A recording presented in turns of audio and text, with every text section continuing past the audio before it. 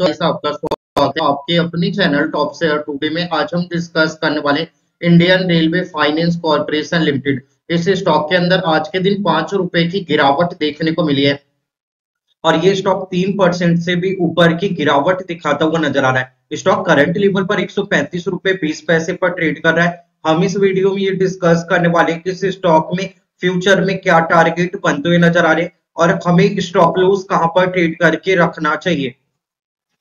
Stock का chart pattern देखें तो इस स्टॉक में एक टॉप बना था वन हंड्रेड एटी रुपीज़ का।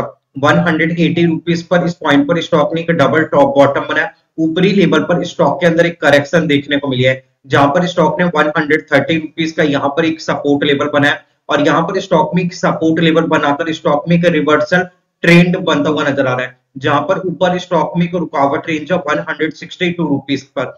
One hundred sixty two rupees पर स्टॉक में एक सेलिंग प्रेशर देखने को मिला।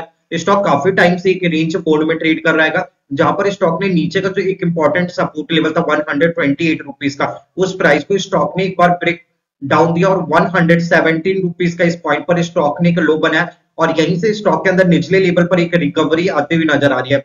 तो ये स्टॉक का जो एक बड़ा सपोर्ट लेवल था one hundred twenty eight rupees का, उस प्राइस को स्टॉक ने ब्रेक आउट देकर एक सपोर्ट लेवल बना लिया था। ऊपरी लेवल पर स्टॉक में फिर से एक करेक्शन देखने को मिल रही है। तो अगर आप इस स्टॉक में एक लॉन्ग टर्म के लिए पोजीशन बनाना चाहते तो नीचे का वन हंड्रेड का एक इंपॉर्टेंट स्टॉप लॉस रखे। ऊपर के टारगेट अराउंड वन हंड्रेड के लिए आप इस स्टॉक को होल्ड करके रख सकते हैं। स्टॉक में एक बड़ी तेज़ी जब भी देखने को मिलेगी, जब स्टॉक 165 रुपीस के प्राइस को ब्रेकआउट देकर ऊपर में स्टॉक की क्लोजिंग ले लेता है तो वहाँ पर स्टॉक में एक सपोर्ट लेवल बन जाएगा और ऊपरी लेवल पर स्टॉक लॉन्ग टर्म के लिए एक बड़ी रैली दिखा सकता है।